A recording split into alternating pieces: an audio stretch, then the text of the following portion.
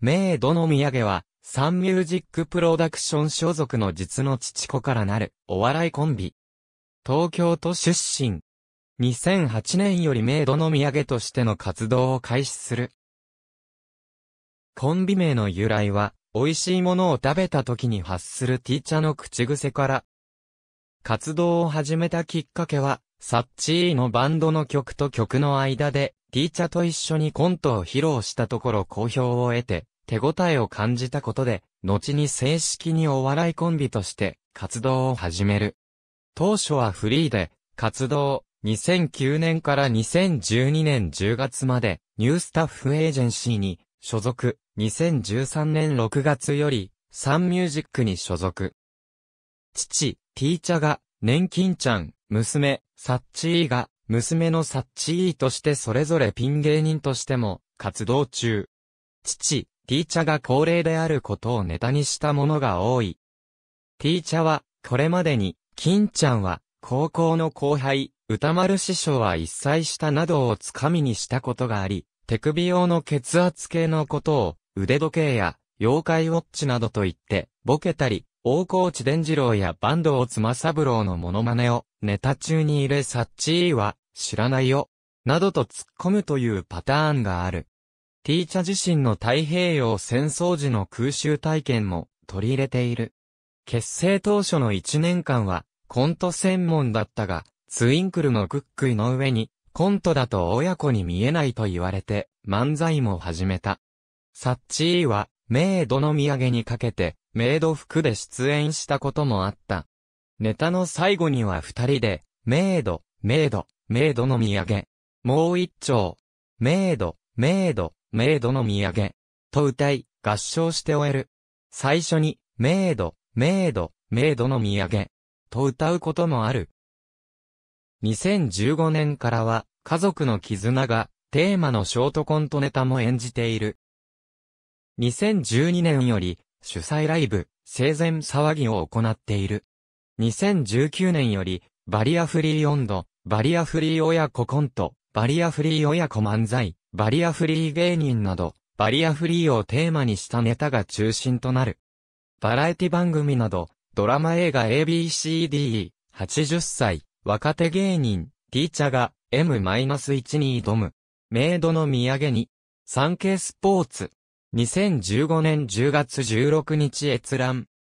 AB2012 年1月23日、読売新聞での、メイドの土産の記事より、ABCDEFGH、サーカスマックス2013年8月号、プチカシマの芸人人生劇場第5回、メイドの土産よりハット AB、80歳、若手芸人、ティーチャが M-1 に挑む。メイドの土産に、産経スポーツ。2015年10月16日閲覧。今週の人。市川読売新聞社。2021年3月16日閲覧。日大明星明星高校野球部40年、前の監督さんが試合を観戦。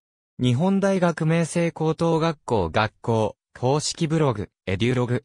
2021年3月16日閲覧。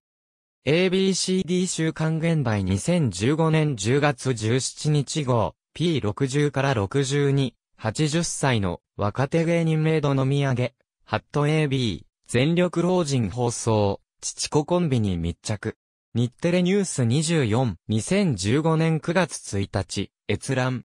81歳と41歳の父子コンビ芸人、メイドの土産、人生をかけたライブに密着、全力老人。テレビドガッチ。2015年9月1日閲覧。AB、昨年結婚メイドのお土産、サッチー、今は、子作りより笑い。産経スポーツ。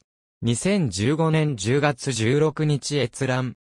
結成は2001年9月。当時のバンド名は、サチノちゃんとアフロさん。2002年8月に、サチノザ・サクラストーンに改名。現在のバンド名に改名したのは2004年8月。80歳、若手芸人、メイドの土産に聞いた夢と家族と、私生活。日刊現代。2015年9月25日閲覧。80歳、若手芸人、明土の土産に聞いた夢と家族と私生活。日刊現代。2015年9月25日閲覧。80歳、若手芸人、明土の土産に聞いた夢と家族と私生活。日刊現代。2015年9月25日閲覧。市川市ホームページ、振り込め詐欺対策啓発用 DVD を貸し出します。生前騒ぎ。明土の土産ブログ。2015年9月1日閲覧。ネクストブレイク、全力老人、フルスロットルオールドルーキー番組表。日本テレビ。2015年8月31日時点のオリジナルよりアーカイブ。2015年9月1日閲覧。インク、ナターシャ、錦鯉、モグライダー芝、ランジャタイ、岡田光太、全問キーラ15秒ネタ番組。お笑いナタリー。2021年5月30日閲覧。2022年1月1日放送7時13時50分。フジテレビ爆笑ヒットパレード。TV 出た蔵。ワイヤーアクション。2022年1月2日閲覧。ありがとうございます。